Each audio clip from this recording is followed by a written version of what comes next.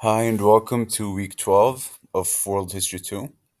So, we're going to delve this week into the transformative era of industrial industrialization, exploring the growth of industrial cities, the emergence of new social classes, working conditions that were present in factories and mines at the time, as well as the benefits and challenges of industrialism we will take a look at ideas by influential thinkers like Adam Smith and the origins and characteristics of socialism and communism in response to the Industrial Revolution.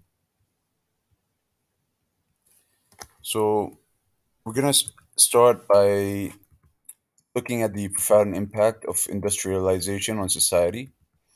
The 18th and 19th centuries witnessed a significant shift in societal structure due to the rapid growth of industrial cities.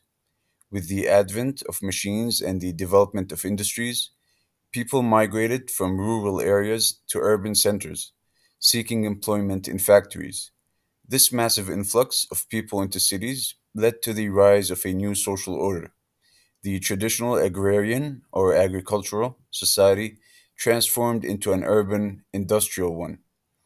Consequently, new social classes emerged, dividing society into the bourgeoisie, which comprised industrialists, business owners, and the wealthy, and the proletariat, the working class laboring in factories and mines.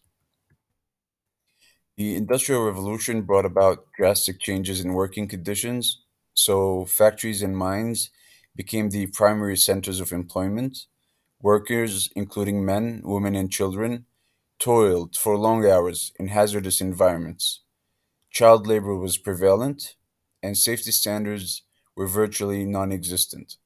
The work was physically demanding, of course, it was mono- monotonous and often dangerous, leading to numerous health issues and accidents. The Industrial Revolution was also a double edged sword. So, on one hand, it significantly boosted production, spurred technological advancements, and improved living standards for some. On the other hand, it led to widespread poverty, exploitation, and environmental degradation. The rise of industrialism brought economic growth, but it also magnified, magnified social inequalities and strained human labor. Adam Smith, an influential economist, emphasized the concept of free enterprise in his book The Wealth of Nations. So, Smith advocated for free markets. Uh, he wanted a free market approach to the economy, promoting the idea that the market, if left alone, would naturally regulate itself.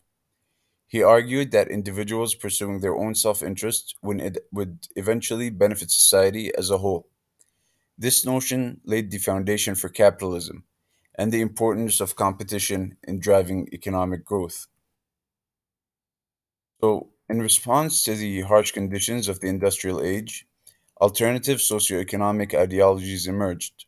Socialism and communism sought to address the inequalities of industrial capitalism. Uh, socialism and communism, championed by thinkers like Karl Marx and Frederick Engels, proposed a system where the means of production are collectively owned by the people, meaning collectively owned by uh, the government. This aimed to um, advance a more equitable distribution of wealth and resources, and uh, communism, an offshoot of um, socialism, you could say, advocated for the abolishment of private property. So, it, let me repeat that again. Uh, if you were to make a distinction between socialism and, and communism, in communism, we could say that it advocated for the abolishment of private property and the establishment of a classless society where goods and resources are shared equally among all members. So, to conclude, the Industrial Revolution redefined society, creating new classes, reshaping economies, and sparking new ideologies. While it propelled innovation and economic growth, it also laid bare the harsh realities of labor exploitation and social disparities, giving rise to new philosophies and movements aimed at rectifying these issues. So, I would strongly encourage you to utilize BC while you study the material. On our Beyond Classroom, you have tutorials, activities, key terms, lesson objectives, all meant to guide you throughout the lesson, as well as self assessments, challenging questions, and further practice questions for you to do as well.